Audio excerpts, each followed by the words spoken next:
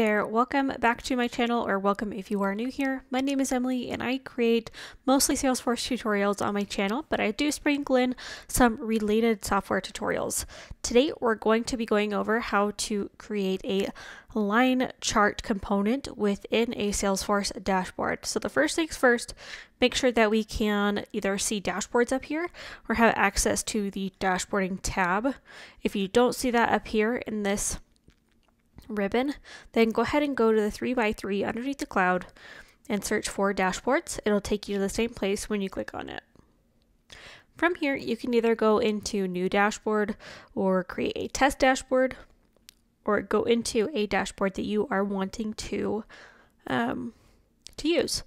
I'm going to go into test dashboard 2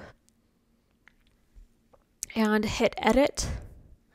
From here, I'm going to go to click plus component.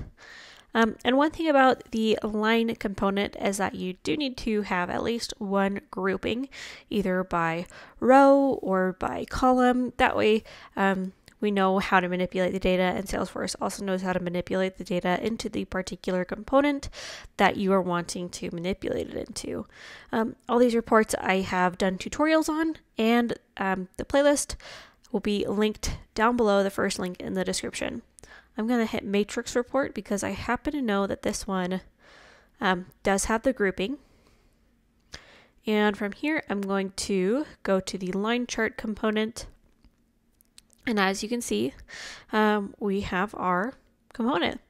Um, let's go into a few of the settings. We can change the x-axis to go from account name to created by, but created by is not going to look as clean in my opinion, but um, depending on how you want to visualize your data, all these different settings will help you. And uh, please just go ahead and play with it to understand your data and to visualize it the best way possible for you and for whomever is going to be looking at your components. Let's go ahead and go down. We can change the y-axis if we um, had other things that we were visualizing by. We can change the display units. So if we had this in the millions of dollars and that's what we were displaying, then we'd want to click millions. But because this is um, just the, the largest number is 10, then that's not the best. We can change the y-axis numbers. Um, right now it's on automatic, but if we wanted to change it to be um, for this to be 5, or this, excuse me, this to be 10, and this to be 20, um, because that's your goal as a company is to hit 20 of these for one company, then you'd be able to do that um, by creating a custom range.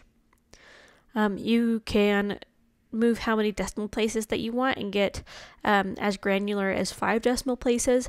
I'm going to keep this on automatic um, because this is an opportunity report that we are showing. Um, there are going to be no decimal places. We're just counting the number of opportunities. Um, you can choose a sort and a secondary sort. You can also add a custom link um, and show the maximum groups displayed. I do recommend that you change the title though. Um, for now, I'm just going to have this be a large line chart um, because that's the type of chart and that's what I'm trying to visualize is just the chart to you.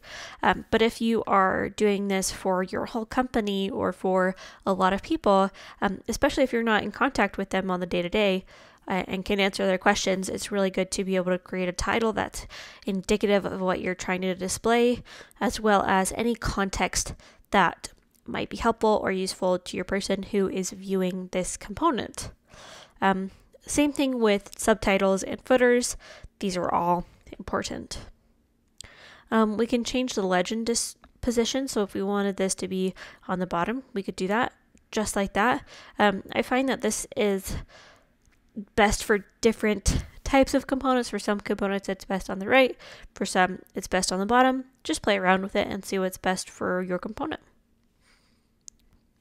And finally, you can change the component theme from light to dark, depending on how you want to see it. I'm going to keep it on dark, click add, um, and then you can move this around. So if you wanted it to be in the middle, you could be in the middle, um, or I'm going to have this go over here to the left, or excuse me, to the right. Um, we can also shrink this down and it'll be responsive. We can also shrink this up and I'm going to get it back to where it was. There we go. um, depending on how much data you have, it might be useful to expand or shrink it. From here, I'm going to click Save and Done, and it'll take us to where we can view our dashboard. Um, we can refresh uh, dashboards, unlike reports, do not refresh automatically every time you load them. You will have to hit the refresh button, and they will kindly let you know over here with a big caution sign when it's been a while. Since you refresh it, if you do it, it'll just load the components once again um, with any updated data. We can click edit to go back to the editor. I'm going to click done. We can subscribe. We can download it, save as, new dashboard, and delete.